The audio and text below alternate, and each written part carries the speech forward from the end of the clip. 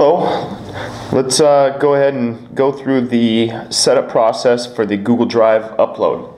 Now first, be sure that you have at least a 2 gigabyte class 6 micro SD card in the back. It will use this to buffer the video and compress it before it uh, uploads it to Google Drive.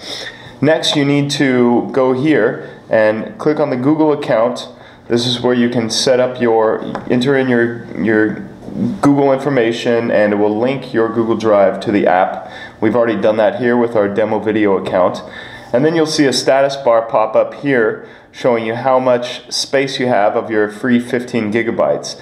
But if it does become full, don't worry, it will automatically begin to overwrite on itself.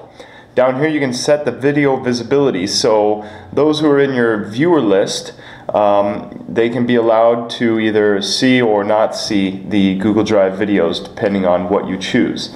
And finally, the upload mode here, you can disable it completely. You can have it continuously or always upload the videos, or only when the motion and audio detection is triggered, it will begin to upload and, and store it in your Google Drive.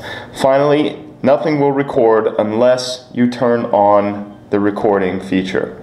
It won't record your, your SD card or your Google Drive if you do not turn this on. So please remember to do that and that's it. You should be able to retrieve all of your videos via your Google Drive account. So thank you.